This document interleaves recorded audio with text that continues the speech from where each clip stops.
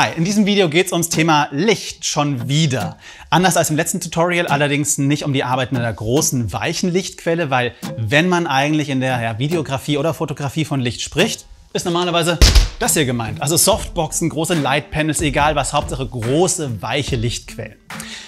Heißt das jetzt im Umkehrschluss, dass hartes Licht, dass kleine Lichtquellen, wenn ihr keinen Lichtformer habt, dass es automatisch kacke aussieht? In diesem Video will ich euch drei coole und vor allem mega einfach nachzumachende Lichtsetups zeigen, für die ihr keine großen sperrigen Softboxen oder irgendein Zubehör braucht und die trotzdem gut aussehen. Auf geht's!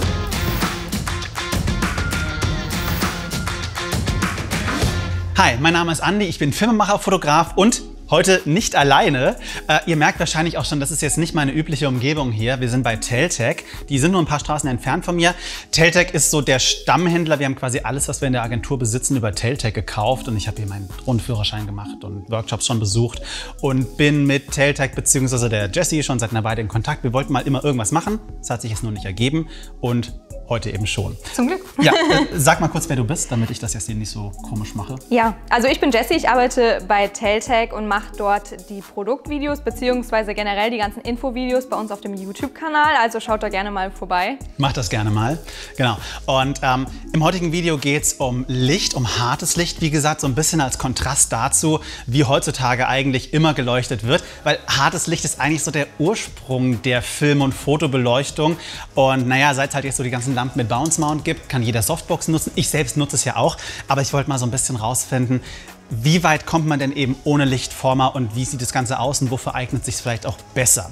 Ähm, wir nutzen hier neue Lampen, einmal von Aperture die LS60 und die Amaran leuchten und zwar die 100, äh, 100er Serie und die 200er Serie. Genau, das sind ähm, Aperture-Lampen unter anderem Markennamen in günstiger, kann man sagen. Ja, genau. Also sie laufen jetzt offiziell nicht mehr unter Aperture, sondern eben die neue Amaran-Serie und die ist quasi einfach für die Content Creator bzw. für die mit weniger genau, Budget.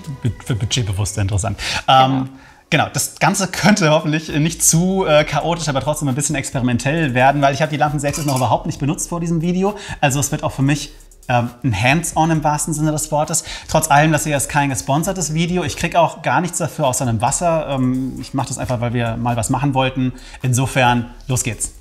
Wir teilen das Ganze heute mal in zwei Teile. Im ersten Teil, das ist dieses Video, geht es jetzt wirklich um die Anwendung. Es ist ein Tutorial. Ich zeige euch, was ihr mit hartem Licht machen könnt und was ihr ja, dabei beachten müsst.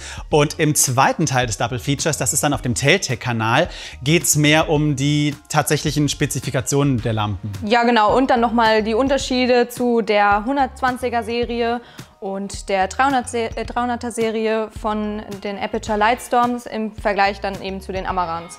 Das ist vielleicht auch ganz interessant. Genau. Okay, erstmal vielleicht zur offensichtlichen Frage, was ist überhaupt hartes Licht? Ähm, die Frage ist eigentlich leicht beantwortet, weil hartes Licht ist Licht, wo jetzt keine lichtverändernde ähm, Lichtformer oder irgendwas vorne drauf war, eine Softbox oder diese anderen äh, Accessoires, die es da eben gibt, durch irgendeinen Diffusor durchgeschossen. Also alles, was man normalerweise verwenden würde, um Licht zu manipulieren, um es weicher zu machen oder irgendwie zu streuen und zu verändern. Ähm, ich hatte gesagt, hartes Licht ist eigentlich die Ursprungsform, wie lange Zeit immer geleuchtet wurde. Es hat den Nachteil, dass es dadurch, dass eben hartes Licht von einer äh, pointierenden Lichtquelle kommt, es einfach härter ist. Es produziert härtere Schatten. Man kann Schatten, die von einem harten Licht projiziert werden, nicht einfach so tot leuchten, weil sie eben deutlich präsenter sind. Das macht vielleicht die Herausforderung ein bisschen größer, mit hartem Licht zu arbeiten, weil man genauer mit den Schatten arbeiten muss. Es ist das Spiel mit Licht und Schatten und es ist generell auch einfach ein Look, der sich für kontrastreichere Situationen eignet. Und ähm, ich glaube, das probieren wir jetzt einfach mal aus. Ja, ich bin gespannt. Ja, ich auch. Okay, ähm, die Jessie hat jetzt gerade mal die Kamera genommen, das macht es für mich einfacher. Hartes Licht zu kriegen ist erstmal denkbar einfach, weil, naja, einfach eine Lampe äh, mit Standardreflektor verwenden, das ist so die rohste Form des Lichts, ne, macht hartes Licht, wirft relativ relativ harte Schatten entsprechend. Ja, so viel Kontrolle hat man jetzt aber nicht. Ein bisschen besser ist es dann schon, wenn man Lampen mit Flügeltoren verwendet. Zum Beispiel diese LS60 hat das jetzt. Sehr viele klassische Film- und Kinoscheinwerfer haben solche Flügeltore. Die gibt es auch als ähm, Zubehör zu kaufen für eigentlich alle Lampen mit so einem Bones Mount. Also könnt ihr dann bestimmt auch für das verwenden, was ihr zu Hause habt.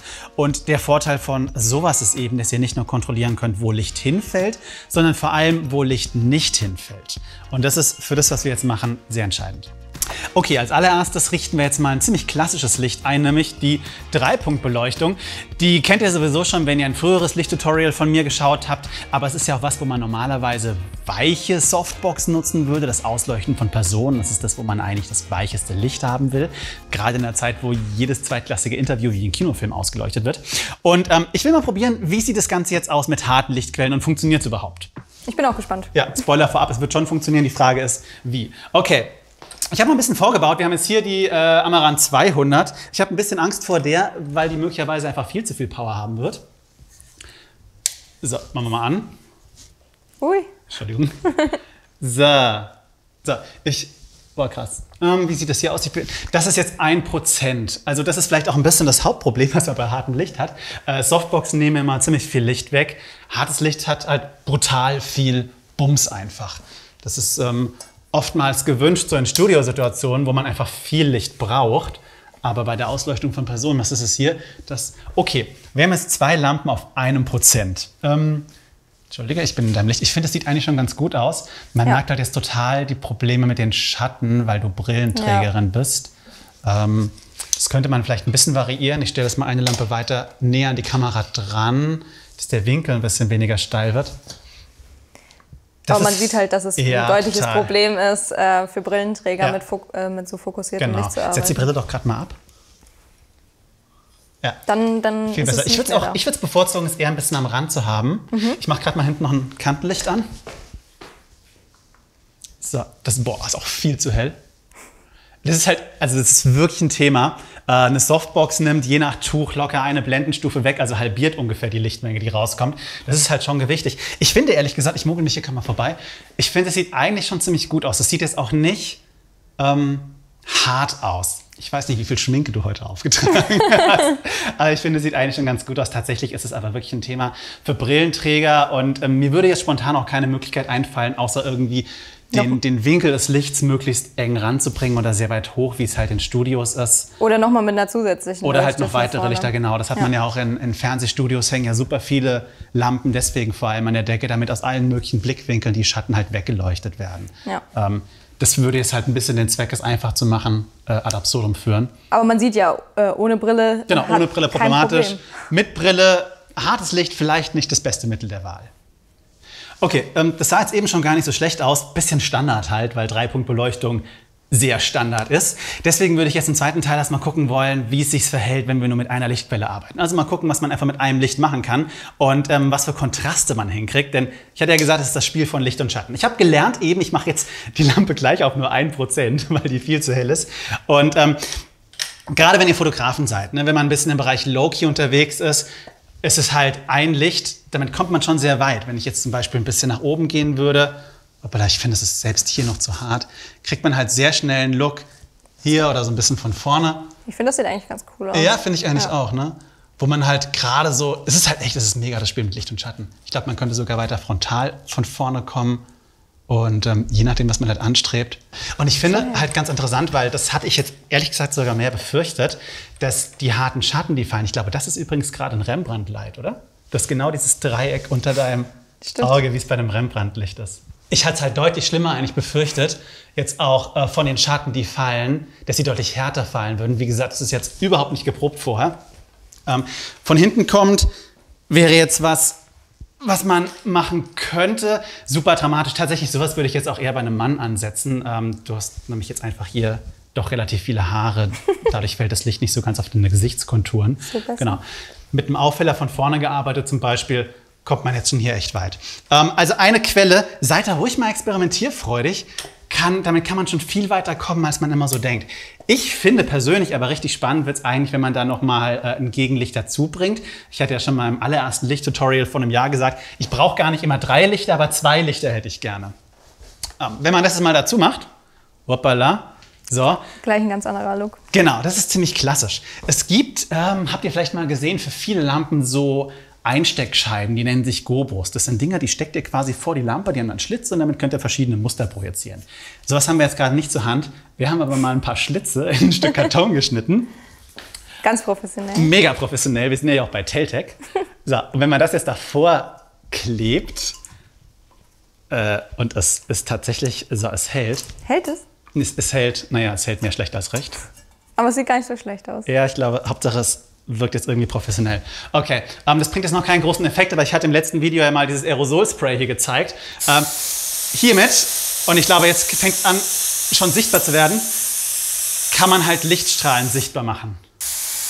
Ich glaube, ich muss sie tatsächlich ein Stück weit näher bringen. Wir haben halt hier ist eine mega große Halle, deswegen dauert es einen Moment, bis es sichtbar wird. Ich glaube, das könnte eine Stelle sein, wo wir jetzt gerade mal kurz was rausschneiden. Ich hoffe, ich nebel dich erst nicht ein. Ich weiß gar nicht, hättet ihr auch Alles eine gut. Nebelmaschine gehabt? Nee, leider nicht. Nee. Aber wir haben eine im, im, im Shop. Alles klar. Äh, das hat jetzt gerade so mäßig funktioniert. Ich mache mal das Licht hier vorne aus. Okay, das ist natürlich irgendwie schon ziemlich krass. Und ich denke, jetzt könnte man es auf jeden Fall ein bisschen deutlicher sehen. Ja, das sieht ja viel besser aus. Ist aber witzig, weil mit bloßem Auge sieht man es total deutlich. Ähm, ich mache mal tiefer und ins Bild rein. Quasi jetzt aus Frust, dass das nicht sofort so funktioniert hat, machen wir das Licht jetzt einfach mal zum Teil des Bildes. Mal gucken, wie das wird. Das ist vielleicht ein bisschen, bisschen viel ist gut jetzt. Aber jetzt sieht man die Strahlen deutlicher. Ja, ich finde, das kann man halt auch mit, dem, mit einer harten Lichtquelle noch am ehesten machen. Eine Softbox im Bild zu haben, ist irgendwie blöde. Aber ein paar, paar Lichtstrahlen, Streifen, die halt wirklich so. Guck mal, das sieht doch schon ganz gut aus eigentlich. Ja. Ich finde, das Ja. hat Ja, langsam so einen genau. Charakter. Wahrscheinlich lösen wir gleich Feueralarm aus. Oh, stimmt, wir müssen vorsichtig sein. ich glaube, das, ist- das ist zu weit oben und das ist zu diffus. Aber hier kriegen wir jetzt langsam so einen Punkt, wo die Strahlen, ähm, finde ich, sichtbar werden. Da oben hier. Okay, das war jetzt schon ein bisschen atmosphärischer. Als drittes machen wir jetzt mal was komplett Künstlerisches, würde ich sagen. Und zwar ähm, ein- Setup, was ich so ähnlich eigentlich für Fotos ganz gerne benutze. Zwei Spitzlichter von hinten kommt. Ich habe jetzt mal diese beiden Amaran-Lampen nach hinten gestellt. Ich glaube, jetzt bin ich kurz aus dem Bild raus. Wenn ich die einschalte, habe ein bisschen mehr Power drauf gegeben. Ich glaube 10% oder so ist das jetzt.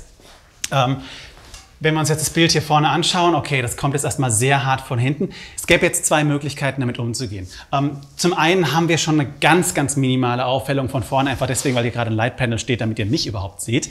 Man könnte jetzt mit einem Reflektor das Gesicht noch ein kleines bisschen heller machen. Äh, Können wir auch mal ganz wir haben ja zwar hier ungefähr wahrscheinlich 100.000 Produkte in diesem Laden, aber keinen Reflektor zur Hand. Deswegen nehme ich jetzt die weiße Seite dieser Softbox, um das mal ein bisschen zu demonstrieren.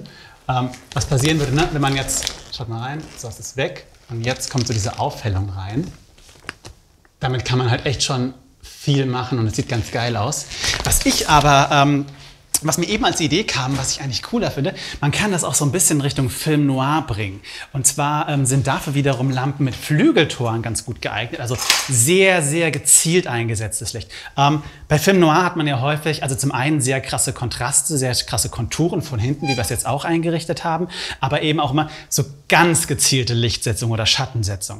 Ein bekanntes Beispiel hier ist zum Beispiel eine Szene aus Harry Potter, die mir beim Weg gelaufen ist. Ähm, da steht irgendwie Lucius Malfoy im Büro von Dumbledore und man sieht so einen ganz dünnen Lichtstrahl nur um seine Augen. Das Gesicht ist dunkel, die Augen sind irgendwie hell, dadurch wirkt es dann besonders intrigant oder so. Ich will dir jetzt nichts äh, unterstellen, aber wir machen mal dasselbe. Wir können es ja mal ausprobieren. Genau, ich habe jetzt einfach hier kann. wirklich diese Flügeltore mal versucht, so weit wie möglich zu schließen, um echt nur einen Schlitz an Licht hinzukriegen. Dadurch, wenn man das jetzt mal auf schwarz-weiß machen würde, ist das, glaube ich, ein Look, der ganz gut irgendwie zu Ingrid Bergmann oder irgendjemandem passen würde. Also es ist definitiv deutlich, deutlich künstlerischer, deutlich betonter. Eben Film Noir äh, erzählt halt ganz viel, hoppala, erzählt ganz viel seiner Geschichte durch die Lichtsetzung. Und ähm, das kann man halt gerade mit so super gezielt gesetztem harten Licht gut erreichen. Und mir gefällt es echt gut.